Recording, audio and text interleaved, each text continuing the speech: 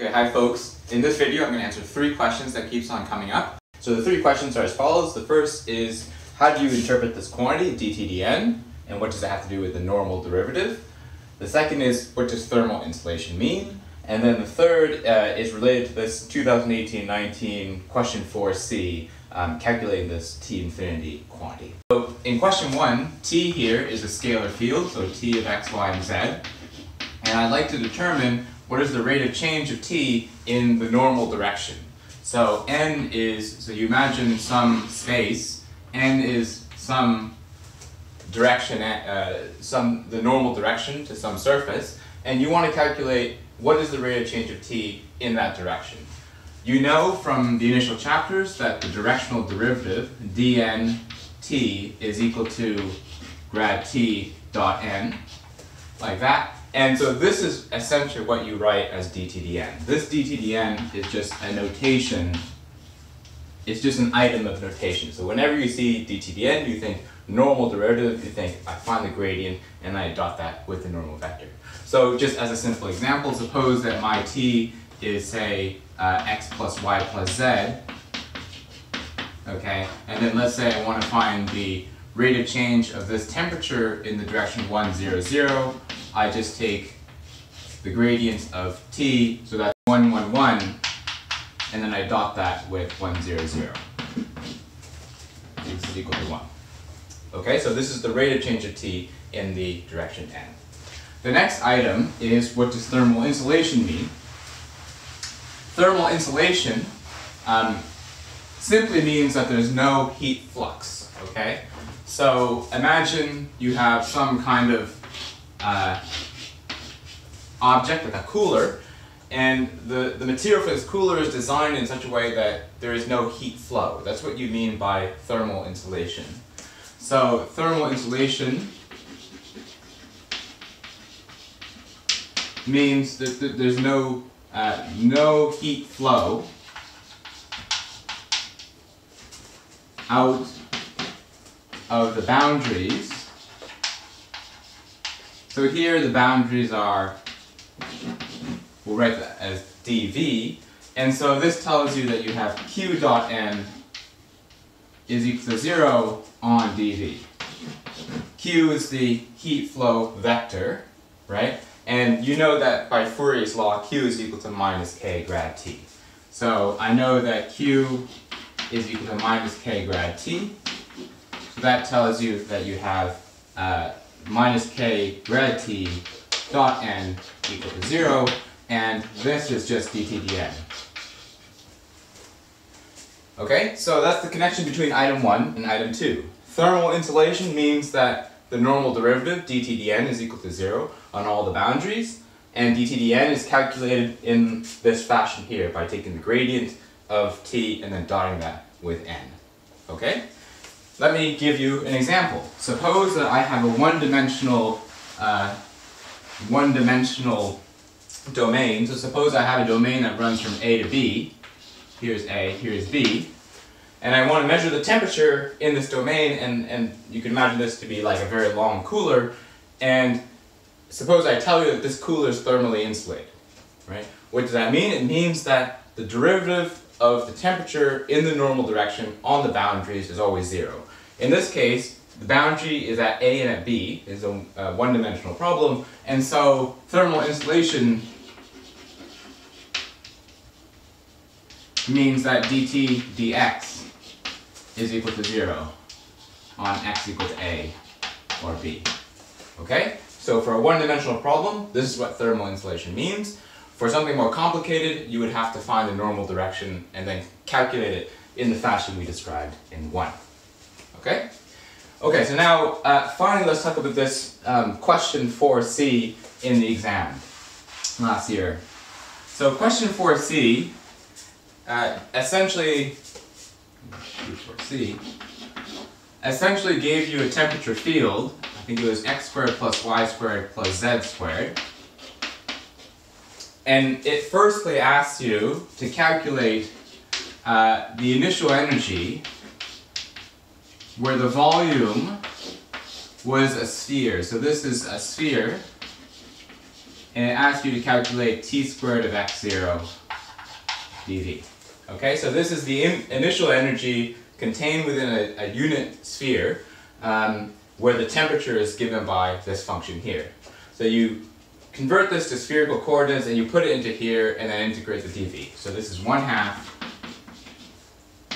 triple integral over a sphere. This is in, in spherical coordinates, this is an r squared, and then you have to square it again, so it's r squared squared. And then you have to multiply that by the Jacobian in spherical coordinates.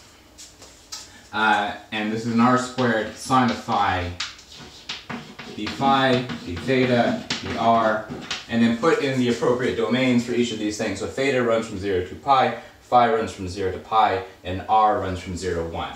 So in total, you have r to the 4 here, plus 2, r to the 6. So this is an integral of r to the 6. That gives you 1 seventh um, r to the 7th, the value from 0 to 1. And then you have to multiply that by 2 pi, which is the integral of d theta, and then multiply that by the integral of sine of phi from 0 to pi, which is 2. Okay, so in total the 2's cancel, and it looks like you're left with 2 pi over 7. Hopefully I've done that right. I've done that calculation wrong a few times.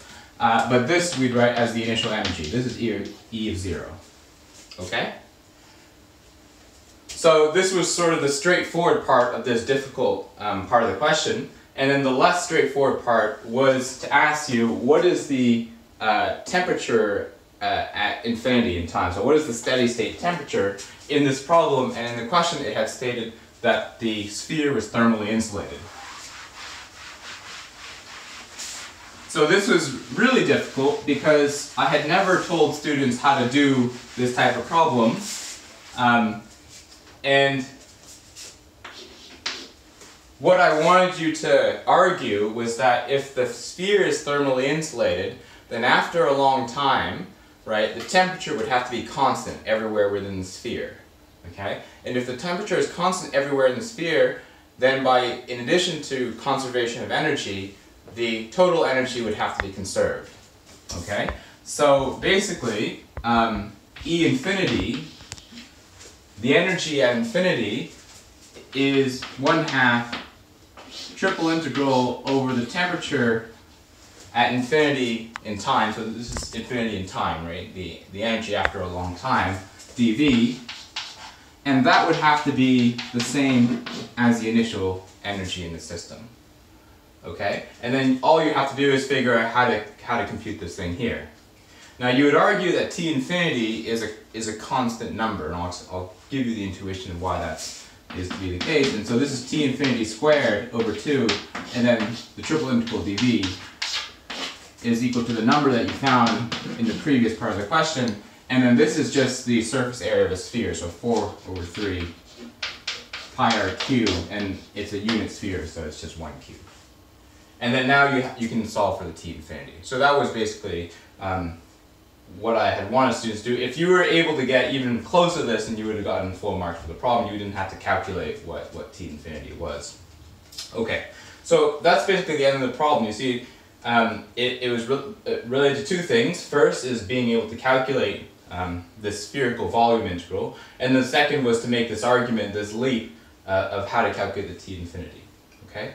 Um, for this year, I don't expect you to know, uh, I don't expect you to actually know how to calculate spher in spherical coordinates without the formulae. So if, if I do ask you to do anything involving spherical co coordinates uh, or polar coordinates, then I will give you the formulas for that. But actually in this year, you don't actually have to memorize anything for this exam.